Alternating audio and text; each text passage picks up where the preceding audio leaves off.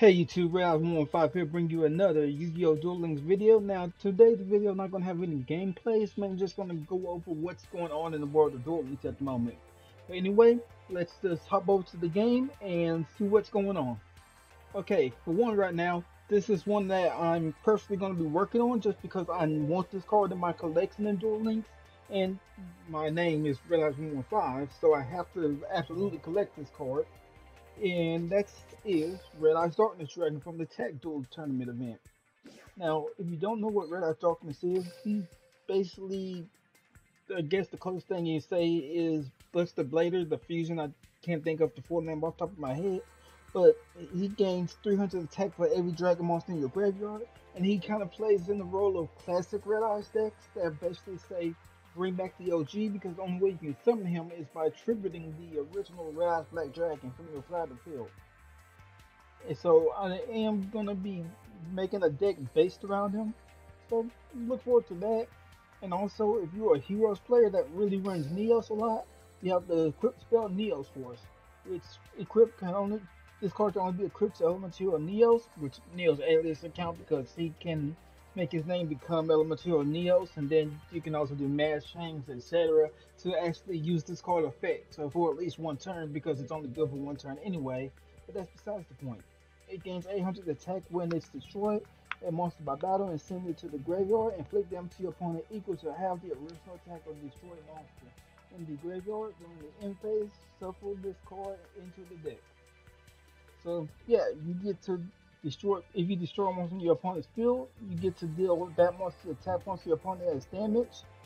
And then on top of that, your monster that's equipped with this gains 800 specifically Neos, which will bring them to 3,300. And then of course we have oh. And then of course in the event, these are repeat rewards right here. But we got Kachi Kochi Dragon, uh, takes two level four monsters to go into. Once per turn, when this card destroys an opponent monster by battle, you can send it to the graveyard. You can detach one material from this card to make it attack again. Then Star Blast. There used to be tons of shenanigans with this card. It's not as good as it once, and I believe it's on the limited list, so you can only run either one or two copies of it anyway now. But you can basically adjust your monster's level, but people wasn't using it for that. They was basically using it to use their skills. So yeah. Then we got Emperor Maju Garzett. Uh, this card cannot be normal from the set. Just like an Egyptian God card, you'll have to tribute three monsters. This card can atta attack become the combine of all three monster tribute for a summon. But that oh, the other good thing about this card is your opponent cannot activate cards or effects during the battle phase. So yeah, he's pretty powerful. It's just you're tributing three monsters to get him, and as you know in Duel Links you have three monster zones. And there are ways to shortcut to pull this off, but it's just his attack points won't be much if you use the shortcuts. But it's going to be hard work to play this card, but it's something I believe that's worth farming for at least.